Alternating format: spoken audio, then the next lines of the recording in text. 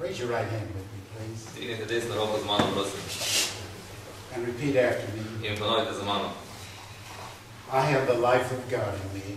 V sebi imam vo- življenje Boga. Sebe imam življenje Boga. I have the love of God in me. V sebi imam Božjo ljubezen. V sebi imam Božjo ljubezen. I have His nature. Imam njegovo naravo. Imam njegovo naravo. I have His ability. Imam njegove sposobnosti. Imam njegove sposobnosti. Therefore, Zato Zato I'm more than a conqueror sem več kot zmagovalec. sem več kot zmagovalec. through Him that loved me. Skozi njega, ki me ljubi. Skozi njega, ki me ljubi.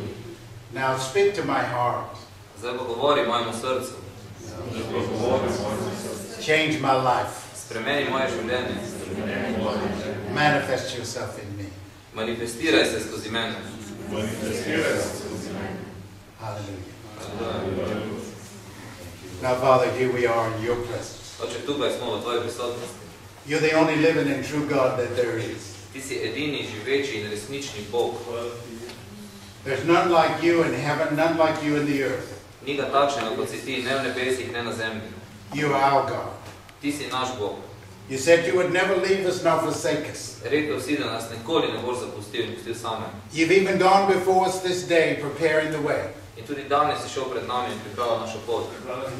We choose to trust you with our, with our hearts. In zato smo se odločili, da ti v naših srcih zaupamo. We'll not lean to our own understanding. Ne bomo se zanašali na naše vlastno razumevanje. In all of our ways, we'll acknowledge you. Na vseh svojih potih bomo priznavali tebe. And we trust you to direct our path. In zaupamo ti, da boš usmerjal našo pot. I thank you for healing people today. Zahvaljujem se ti za ozdravitve, ki se bodo danes zgodile. I thank you for speaking life in finances, life in areas that they need it. Hvala ti, ker boš govoril, zapovedal življenje v finance in v vsa področja, kjer ljudje to rabijo. And we vow to give you all the praise, all the glory, all the honor. In zaprisegamo se, Gospod, da ti bomo dali vso slavo. In the matchless name of Jesus Christ of Nazareth. Eh, In v imenu, kakršnega ni, v imenu Jezusa Kristusa. And all the body said, In vse telo je reklo, Amen. Amen. Amen. Amen. I want to correct something that I said at the restaurant yesterday. Eh, Nekaj, kar sem včeraj v restauraciji rekel, želim popraviti. I said the man gave me a thousand euros. Rekel sem, da mi je dal tisoč evrov, He gave me a thousand Swiss francs. dal mi je tisoč frankov, One bill, one thousand. en, Wow. eh, en račun. Na en bankovec. Naj ne bankovcu, ja. Yeah, yeah.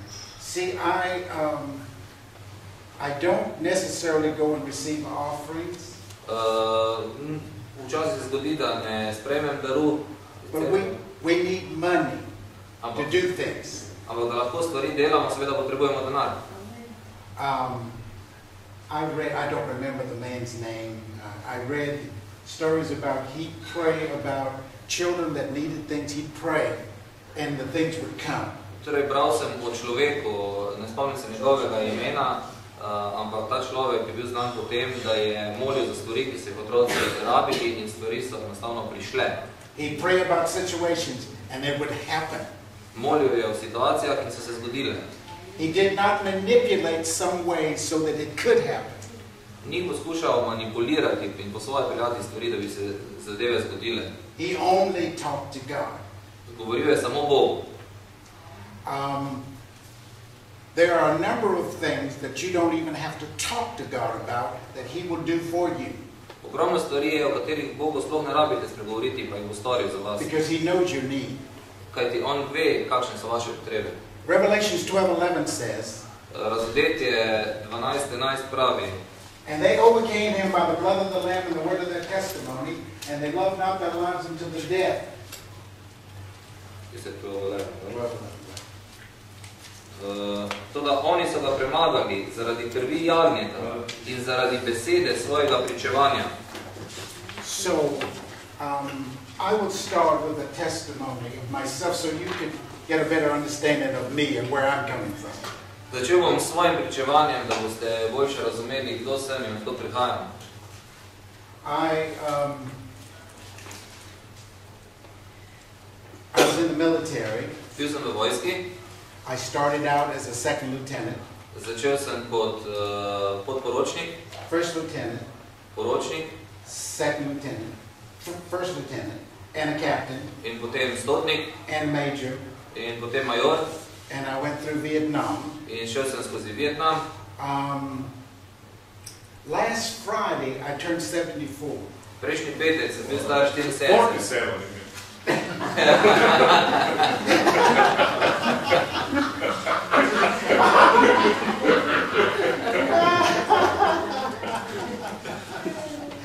It's only a number. To je samo številka.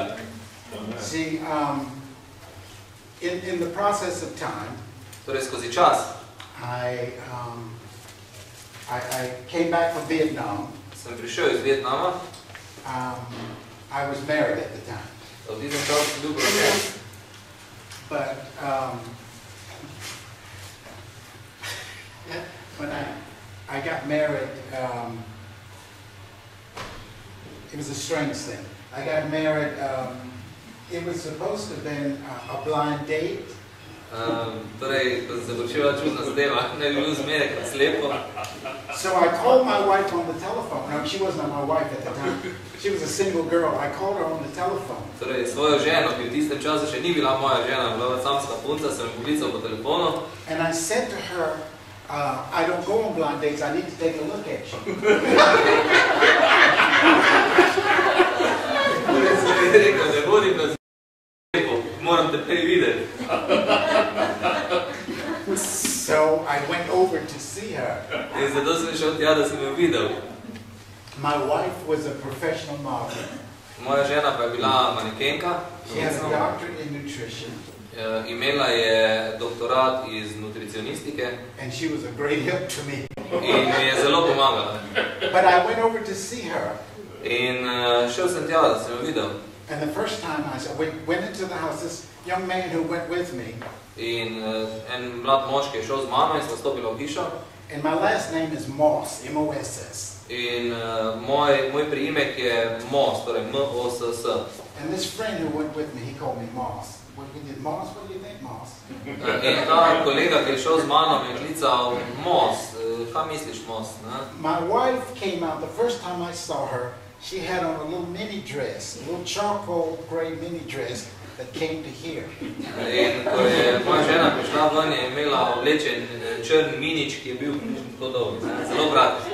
She had on some fluffy shoes, look fluffy shoes, looked like little cats. Imela je take puhaste, puhaste čevlje And she had her hair out on her head, which was, they called it a bush, you know. imela je frizuro, ki se je imenovali grn. Now, I was Baptist at the time. In v tistem času sem jaz bil uh, baptist. And as soon as I saw her, I knew she was going to be my wife. In takoj, ko sem jo videl, sem vedel, da bo to moja žena. And uh, her sister, as she was living with her sister, In uh, žena je takrat živela pri sestri. and um, she had come out there to do um, some modeling, TV modeling, In prišla je, da bi pač se tudi ukvarjala z manekenstvom na televiziji. and she needed a date. In potrebovala je spremljevalca. So I'm thinking if she needs a date, she cannot be looking so good. In če rabi spremljevalca, potem ne sme tako dobro zgledati. But when I saw her, I knew she was going to be my wife as a Baptist. In uh, kljub temu, da sem bil baptist, tako sem vedel, takoj ko sem jo zagledal, da je to moja bodoča žena. But her, her sister asked, why would you let him come and take a look at you? Sestra pa je rekla, zakaj si mu dovolila, da prije prej? She said, because I needed to see what he looked like. Odgovor je bil, zato sem tudi jaz morala videti, kako on zgleda.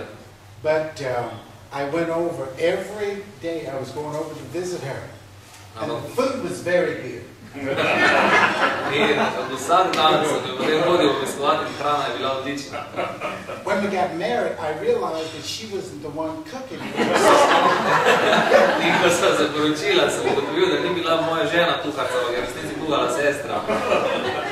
But this was well out west in New Mexico. I called her mother In to je bilo v Novi Mehiki. Poklical sem njeno mamo and I said, to, "Oh, she's a very nice girl, but she can't cook." Poklical sem mamo in ona je super punca, ampak ne zna kuhati. Uh, her mother had three daughters. All of them could cook very well. In njena mama je imela tri hčerke in vse so odlično kuhale. Her mother said, give her some time. She can cook. In mama je rekla, dej nekaj časa, ona zna kuhati. And she was right. In imela je prav. Um, 1 John 4, 16 says this. Prvi, prvi Janko 4, 16 pravi sledeče. And we have known and believed the love that God had to us. God is love. And he that dwelleth in love dwelleth in God, and God in him. 1 John 4, 16. Aha. Mi smo spoznali ljubezen, ki jo ima Bog do nas in delujemo vanjo. Bog je ljubezen in tisti, ki ostaja v ljubezni, ostaja v Bogu in on ostaja v njem. Um, when we got married, we lived in our home. We had four bedrooms, no children. Ko sem se poročila, sva živela v hiši s štirimi spalnicami, pa nisem imela otrok. Because my wife could not have children. Kajti moja žena ni mogla imeti otrok. She had a disease called, um, she had endometriosis and fibrous tumors, and the doctor said the only thing they could do for her was take out her female organs. Torej, eh, bila je, eh, žena je imela zdravstvene težave, imela je eh, različne obolenja, tumorje in zaradi tega so morali v bistvu ženske organe, torej rodila zdravniki odstraniti. And my wife started talking to me about adopting, adopting children. In žena mi je začela govoriti o tem, da bi posvojila otroke. And I told her, look, I'm having a hard time just being a good husband, let alone a stepfather. In rekel sem ji, čuj, poglej, uh, jaz že zelo trudim, zelo veliko energije pravim, zato da sem dober mož, kaj šele, da bi bil uh, pa očim. So her sister and her husband came by to visit us from California, all the way from the West Coast. They came out to visit us. In eh, sestra in njen mož sta nam prišla obiskat. They all walked, they walked in the house and they had these big smiles on their faces. In stopila sta v hišo in sta imela na obrazu tak fiksiran nasmeh. So I sat in my living room and I waited for a while. Then I went back to the bedroom where they were. Eh, Nekaj časa sem sedel v dnevni sobi, počakal sem v spalnico, kjer so bili ostali. So I said, what's going on with you all now? In sem rekel, kaj se zdaj z vami dogaja? They said, we know the Lord. In sta rekla, poznava Boga. I said, you know I do too, I'm Baptist. In sem rekel, ja, jaz tudi, jaz sem baptist. So my brother-in-law said that had nothing to do with anything. Vendar uh, pa je moj uh, brother in law svak, uh, svak rekel, to nima nič s tem. So he's, I, he said, it's a relationship with the living God. Rekel je, važen je odnos, da živim Bogom. So I said, well, I don't have anything to lose. I got down on my knees. I said, pray for me.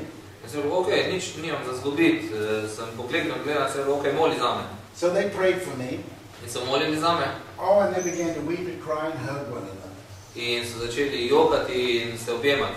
I got up, went out to my living room and sat on my couch. Vstal sem, šel v dnevno in se sedel na kavč. And these words welled up in me. In v meni so se začeli nabirati te besede, I want to be able to love people in spite of all their shortcomings. eh, da si želim biti sposoben ljubiti ljudi, ne glede na njihove napake. And next, next came, I want to be able to love people in spite of all of my shortcomings. In naslednje, kar sem izrekel, je bilo, želim si ljubiti ljudi, ne glede na vse svoje napake. At that moment, it became a reality. I knew that I knew that I knew. As soon as I'd see someone, I knew I loved them. In v tistem trenutku je to postalo realno. In uh, od takrat naprej, kadarkoli koga vidim, ga lahko ljubim. And from that day to this one, In od tistega dne do tega it has never changed. se ni spremenilo. This is not normal. To ni normalno. Amen. This.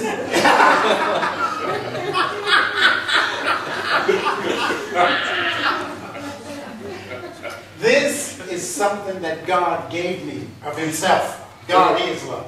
To je nekaj, kar mi je Bog dal od sebe, kajti Bog je ljubezen. Um, the time that I intend to spend here, Čas, ki ga nameravam preživeti tukaj, um, it isn't for me, it is for you, so that I can partake of what God gives me to give you so you can be better. ta čas tu ni zame, ampak je za vas, zato da lahko jaz dam nekaj tistega, kar je Bog dal meni, tudi vam. Um, 1 Timothy 1 5 out of the Amplified, I don't know Prva Timoteju uh, ena, ena, pet. It says this out of the Amplified, I'll say it, hope- I'll say it slowly, so maybe you can just follow it. Just one five. First Timothy, yeah, One five. one five, one, yeah. Oh, yeah, I'll read from. Pyramid. Okay, yeah. Torej, ta Biblija, to je Amplified version, eh, tam so v bistvu dani taki poudarki, da je vse skupaj še bolj zanimivo, poudarjeno je tisto, kar želi beseda povedati. Mi te take verzije Biblije v slovenščini nimamo, tako da jaz bom prebral to vrstico, potem pa kar bo treba dodati, pa še dodal. no. Whereas the object and purpose of our instruction and charge is love, Namen te zapovedi pa je ljubezen, which springs from a pure heart ki izvira iz čistega srca, and a good, clear conscience dobre vesti and sincere, unfeigned faith. in iskrene vere. Ne, Ours, Amplified version.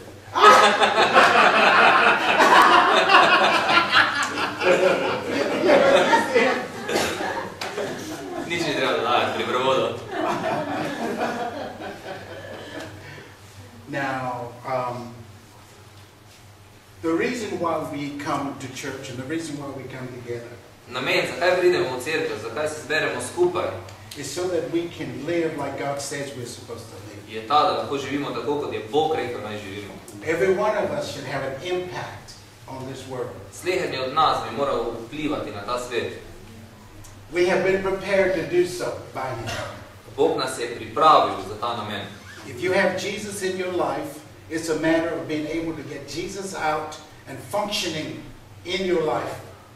Če imate Jezusa v sebi, je bistvo v tem, da morate v bistvu uh, omogočiti, da Jezus deluje skozi vas. Well, I'm going to take a few minutes here and explain something.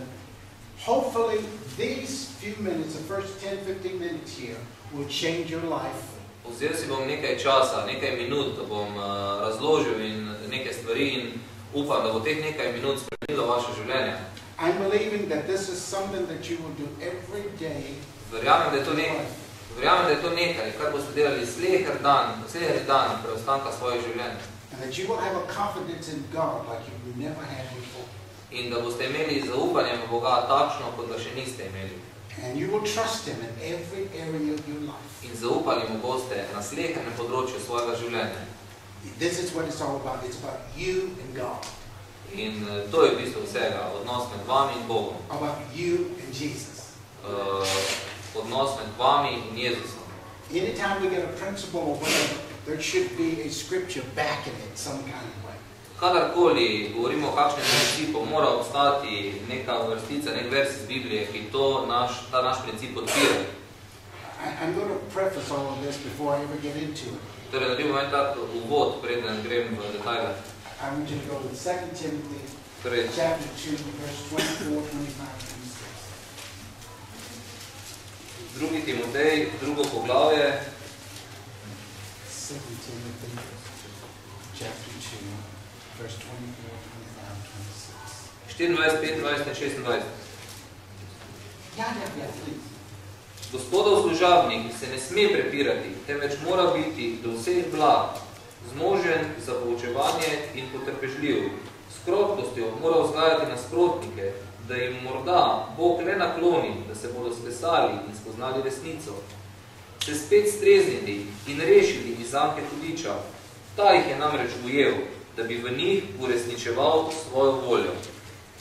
There's a character that we project. Uh, imamo nek karakter, ki ga kažemo. As a, as a Christian person, your character was given to you the day you were born again. Uh, kristjanom vam je bil vaš karakter dan na dan vašega ponovnega rojstva. This should be coming forth from our life day by day by day. In to bi se moralo vsakodnevno kazati v naših življenjih. We call that the fruit of the Spirit, all that was deposited in you.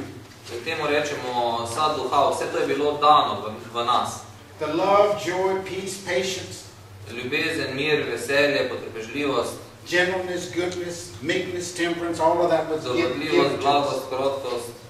That should be coming forth in our life. Vse to bi se moralo manifestirati v naših življenjih. That is our character. To je naš značaj. Now, uh, let me just read what he just read. In bom prebral to, kar sem jaz prebral. And the servant of the Lord must not strive. Torej, uh, gospodov služabnik se ne sme prepirati. That means don't get into strife. I'm right, you wrong. You understand what I'm saying? Torej, ne se gre, jaz sem prav, ti se motiš, razumeš, kaj ti pravim? That, that isn't what he's saying. He said, you do avoid it. Avoid strife. Torej, beseda pravi, izogibajte se prepiram. Strife will plug up the love of God. Uh, prepir bo v bistvu zamašil tok ljubezni, tok Božje ljubezni. I, I just believe I need to give you a little piece of my mind. Uh, zdi se mi, da ti moram nekaj povedati. You don't need my mind. Ja, ampak It's not ne. going to help you at all.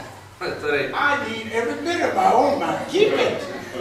torej, izraz, ki ga oni uporabljajo, je, dal ti bom košček svoje, svojega mišljenja, ampak dejansko ti ne rabiš košček mojega mišljenja, ker ga jaz rabim v celoti zase. So because we've taken on the mind of Christ. Now here, let's, let, let me just continue to read here. Torej, naj nadaljujem. But be gentle unto all men, Temveč mora biti blag do vseh, apt to teach, zmožen za poučevanje. Patient, in potrpežljiv. in meekness, instructing those that oppose themselves. S krotkostjo mora vzgajati nasprotnike, If God peradventure will give them repentance to the acknowledgement of the truth, da jim morda Bog le nakloni, da se bodo skesali in spoznali resnico. And that they may recover themselves. In uh, out of the snare of the devil who are taken captive by him at his will. se spet streznili in rešili iz zanke hudiča. So when you begin to do out of your character, begin into strife, and get into anger, Torej, če ne ravnate skladno s svojim karakterjem in se za- zapletete v prepir in ste jezni, you put yourself over into the devil's territory, se v bistvu predstavite na ozemlje hudiča and he will come in at his will and destroy you and everything that you associated with. in bo po svoji volji vstopil v svoje življenje in uničil vse vas in eh, vse, s čemer ste povezani.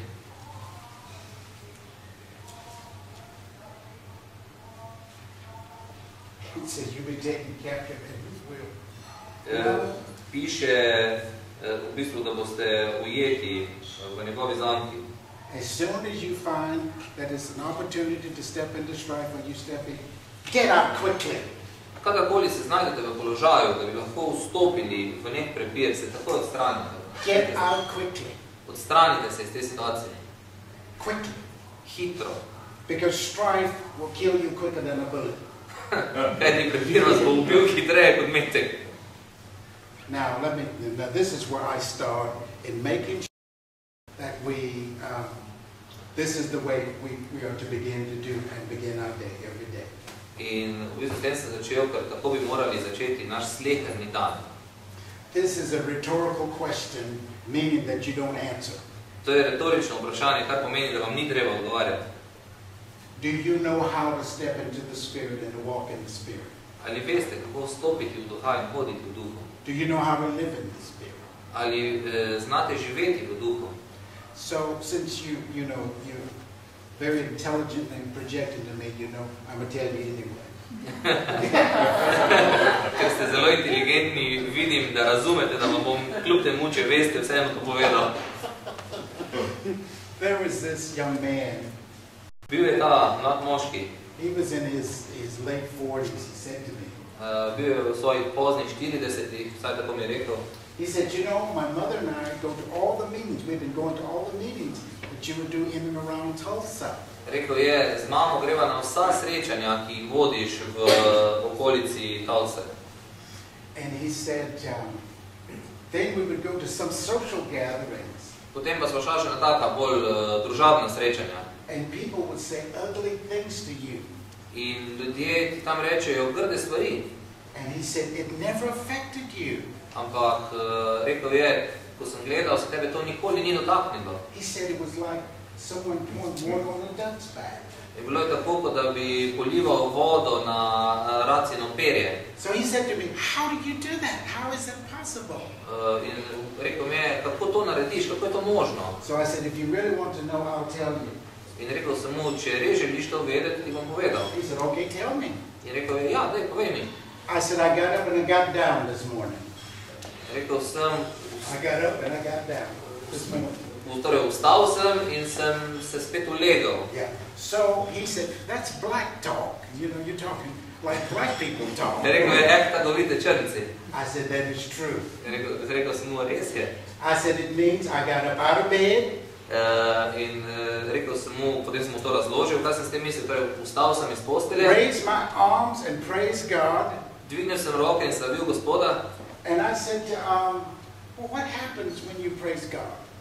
in sem kaj se zgodi, ko, se, ko slaviš Gospoda. He inhabits your praises. He Uh, inhabits your on, praises. uh, Gospod eh, biva v našem slavljenju. So after I praise Him for a while, I get down on my knees. In po tistem, ko nekaj časa slavim, grem na kolena. When I get down on my knees, In ko grem na kolena, I said, I choose to die. Uh, se v bistvu odločim, da umrem sebi. What Paul says, I choose to die. To, kar je Pavel rekel. 1 Corinthians 15, 31, he says, I die dead. Torej, v prvo Korinčanom je rekel, da dnevno umre. Yeah. And then uh, uh, Galatians 2.20 says, Galačanom 2.20 Paul pravi, also speaking, eh, to tudi Pavel pravi, I am crucified with Christ. eh, križan sem s Kristusom, Nevertheless I live, yet not I, but Christ liveth in me. v- ne živim več jaz, ampak Kristus živi v meni. And the life that I now live in the flesh, Kolikor pa zdaj živim v mesu, I live by the faith of the Son of God who loved me and gave himself for me. živim v veri Božjega Sina, ki me je vzljubil in daroval, sam, eh, daroval zame sam sebe. I'm still down on my knees. Še vedno sem na kolenih And after I had made that statement, I, I want you to know that I am in the third dimension. in ko sem to rekel, želim, da veš, da sem v tretji dimenziji. And we are all in the third dimension here now. In mi smo vsi tule zdaj v tretji dimenziji. Everything you can see, touch, taste, and smell is subject to change. Vse, kar lahko primete, vohate, čutite, se bo spremenilo, vse spreminja. But after you make that statement, you move from this dimension to the fourth dimension, which is the realm of the spirit. Ampak, eh, ko pa se daš tisto izjavo, se pa iz tretje dimenzije predstaviš v četrto, v dimenzijo duha. The fourth dimension dominates this dimension. Četrta dimenzija dominira tej dimenziji. So, when I get up off my knees, In ko se dvignem svojih kolen, I walk around looking like everybody else, but I'm not like everybody else. hodim na okrog in sem videti kot vsi ostali, vendar nisem kot vsi ostali.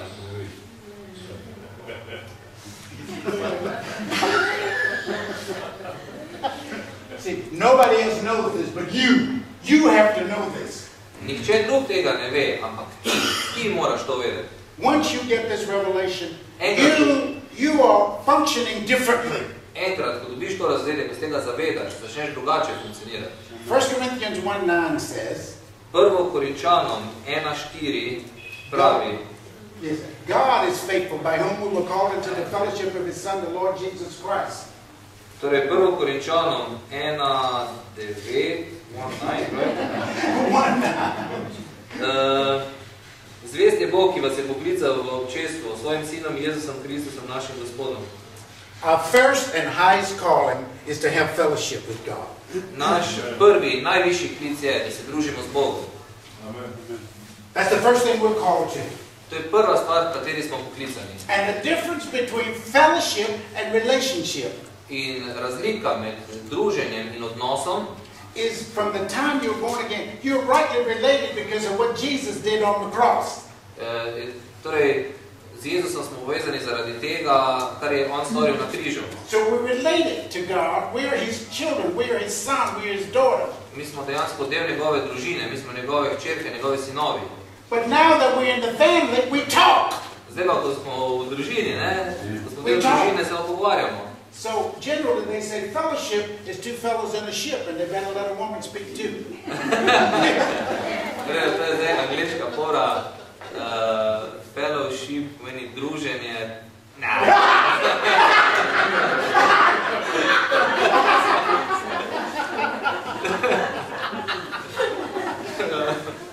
So as we talk, husband and wife one to another, first off we start talking to God. Torej, govorimo uh, drug z drugim, mož za ženo, in tako prvo začnemo govoriti Bogu. He's an invisible God. On je neviden Bog. He must become real to us. We don't, it's not because of what we say now out and everybody else hears and we make these great uh, oratory speeches about talking to God. Torej, eh, v bistvu ni v tem, da delamo te veličasne govore Bogu. It's privately we're talking to Him. Gre se za to, da tako eh, osebno, zasebno govorimo z njim. Our fellowship is really a, a, a, an extension of prayer. We pray and we, we, we talk we talk to God. Naše druženje z Bogom je dejansko podaljšek naše molitve, torej smo v nekem odnosu z Bogom, se pogovarjamo z njim. But see, uh, uh, for years I wasn't sure that God would ever talk back. A veste, leta nisem bil prepričan, ali bo Bog govoril nazaj ali ne. I had my list of stuff. I go and I take it to God. Oh, and I, I want this. Oh, I li- got to have this and would like to have this. And then I walk away. Imel sem uh, cel seznam stvari, ki bi jih rad imel, šel sem pred Boga in rekel, rad bi imel to, rad bi imel to, sem mu povedal in potem sem uh, odšel. Fellowship and prayer, there's an expectation. Druženje in molitev vsebuje ta pričakovanja. You don't talk to someone and don't expect them to talk back, and you do all the talking. Uh, torej, ko z nekom govorite, pričakujete tudi odziv te osebe, ne pričakujete, da boste samo vi neprestano govorili. In some relationships, that's the truth.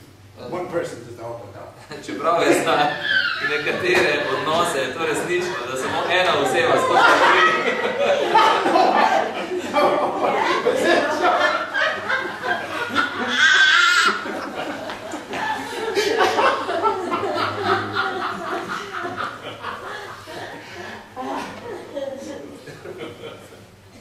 greatest thing about fellowship is that we, we have uh, an expected return. We expect him to talk back. Najlepša stvar pri odnosu je ta, da pričakujemo tudi nekaj nazaj. Now, once you start fellowshipping with God, In ko se začnete družiti z Bogom, and you know, the more you fellowship with someone, the greater you like them, they're your friends, you know them better because of the way they express themselves to you. in bolj ko se družite z nekom, bolj ga spoznavate in bolj vam ta oseba postaja všeč, uh, ja, Now, if um, sometimes when God speaks to us, God's, God's a spirit, so he speaks to our spirit, torej včasih nam Bog govori, Bog je duh in Bog govori našemu duhu and the Holy Spirit takes what he's spoken to our spirit and translates it to our mind. In Sveti duh vzame to, kar je bilo spregovorjeno našemu duhu in spregovori to našemu umu. Sometimes we can just get some impressions, Včasih dobimo samo nek vtis and then God talks, God will talk. in potem Bog govori, Bog bo govoril, ne preneha govoriti. He knows everything that's concerning us. On ve, pozna vse stvari, ki nas skrbijo. We can begin to express what we need to express to God. In zato lahko uh, Bogu povemo to, kar mu želimo povedati. Now, what I just said, I, I'm going to make sure I don't want you to forget how do you get up and walk in the Spirit. Torej, vse, kar sem povedal, uh, želel bi si, da si od tega zapomnite to, kako ostanete in hodite v duhu. What I want you to remember Želim si, da si zapomnite, is that I get up and I get down. da torej od vsega si najbolj želim, da si zapomnite, da vstanem in grem dol. So what that does, it gives you a picture of how and what you do. And then once you get that in mind and you begin to do it, you, you, you change. You will change. To vam da sliko, kako delate stvari. Torej, eh, in ta, ta predstava, ko enkrat to razumete, to vas bo spremenilo, zagotovo vas bo spremenilo. You will not act out of your flesh when someone is saying something or trying to do something to you. Torej, ne boste več delovali eh, samo iz svojega mesa, ko vam nekdo nekaj naredi ali pa reče.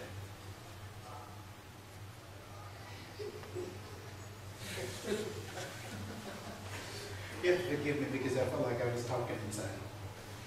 Uh, okay.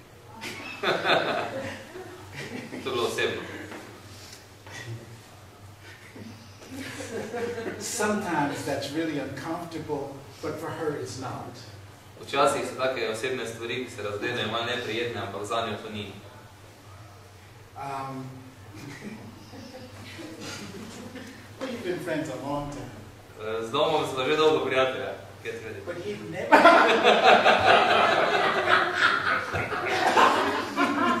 but he You know, and I had a pastor too one time. He, he said, I would probably take George a lot of other places with me, but I don't know what George might say. E, e, Imel sem pastora, ki je rekel, Đorđo bi vzel s sabo na veliko različnih področjih, ampak ne vem, kaj bo rekel. But I said to him, you know, um, I don't know whether it would make you feel any better. I don't know what I would say. Ampak je rekel samo, ne si sekirati, ne vem, če se bo zaradi tega kaj boljše počutil, ampak pošteno ti povem, da tudi, tudi jaz ne vem, kaj bom rekel.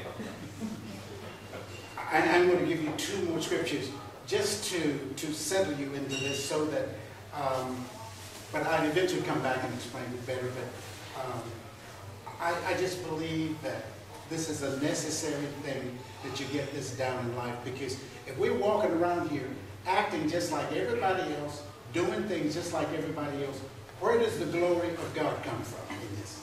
Ok, torej, če rad bi, da se ta zadeva resnično usede z vami, zato bom podelil še dve vrstici uh, in uh, dejansko rad bi, da se zaveda tega, da če smo taki kot vsi ostali, da hodimo na okrog in delujemo na okrog kot vsi ostali, kje je potem tukaj Bog? 2 Corinthians chapter 4 verse 10 says this.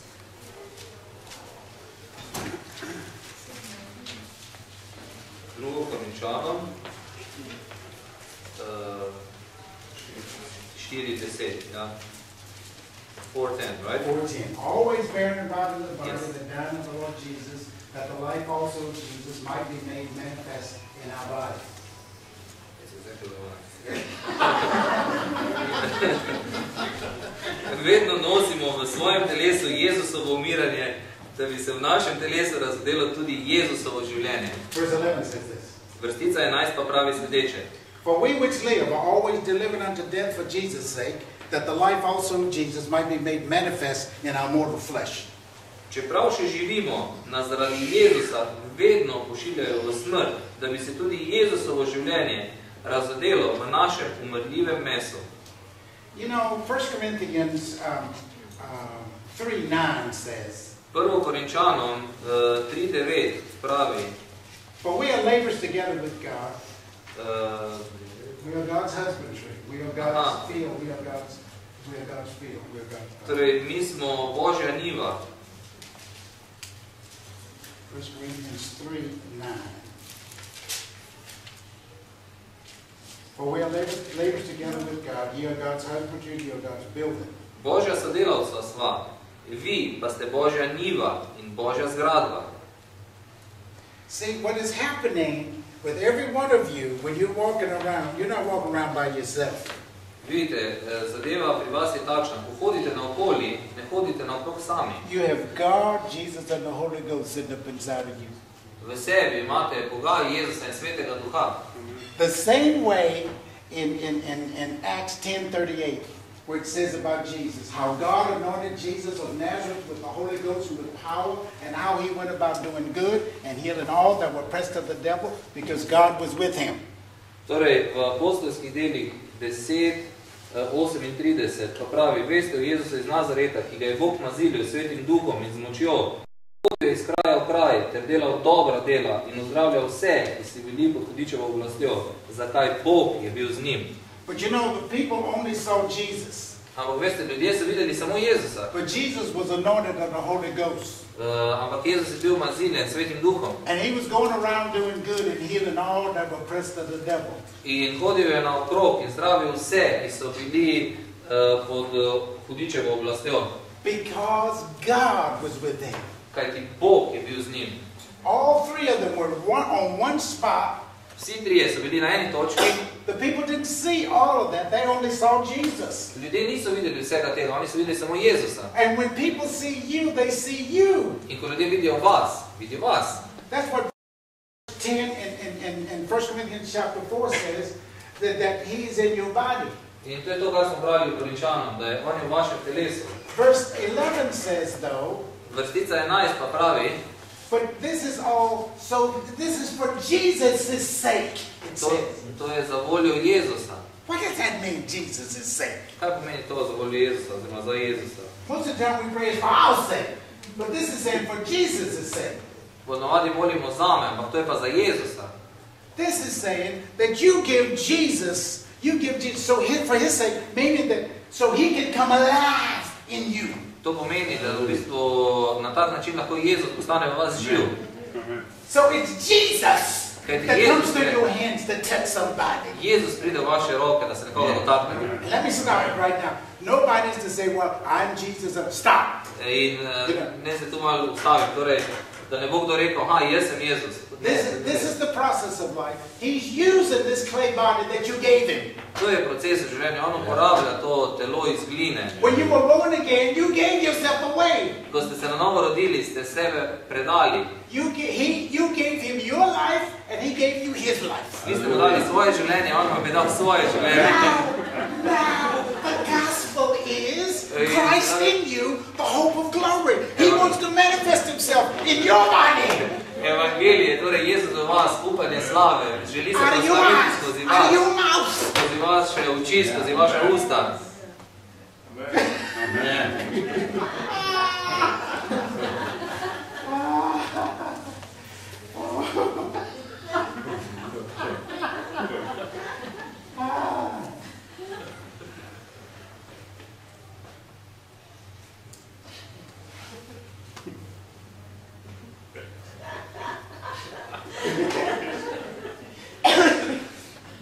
I'm messing Greg up. yes, sir, he couldn't function. He was sitting at the table. It's a good thing he'd already eaten, because I don't think he could have eaten another thing. oh. Life is a beautiful thing. Življenje je super stvar. Amen.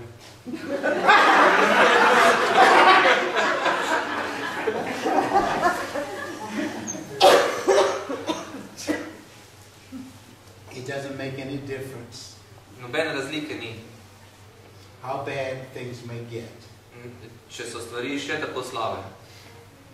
and how big the problems may seem to be. In ne glede na to, kako velike se zdijo problemi, They're not as big as God. nobena težava ni tako velika kot Bog. The things that are possible, uh, the things that are impossible with man are possible with God. Stvari, ki so za človeka nemogoče, so mogoče pri Bogu. And He's promised He will never leave you nor forsake you. In Bog je obljubil, da vas nikoli ne bo zapustil. You're not hung out here in the lurch by yourself. Niste vrženi kar sem, sami zase. You got heaven's help all the time. Eh, Za sabo imate Božjo pomoč, vse skozi. Ooh, I don't know how much more of this I can stay. Ne vem, kako dolgo bi še zdržal.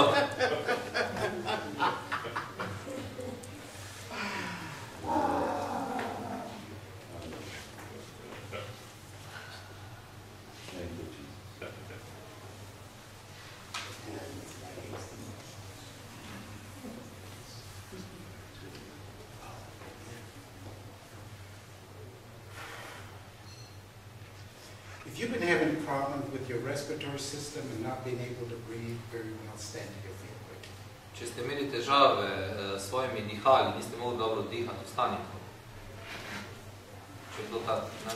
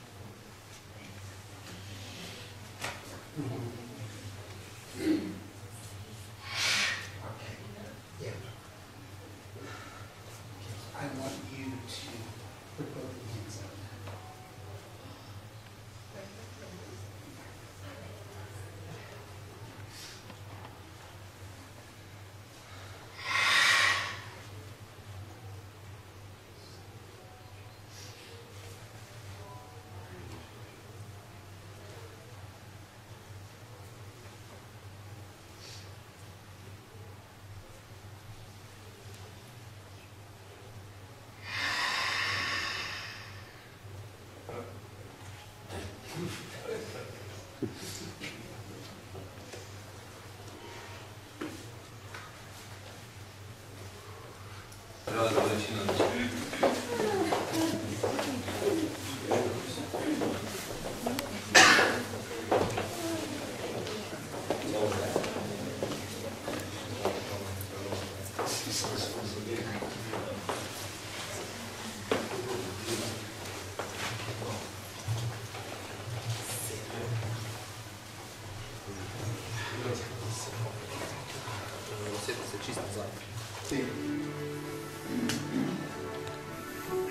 way out and stay out.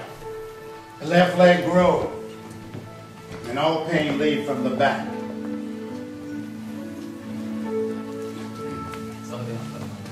It's good. It's good. It's, good. it's okay.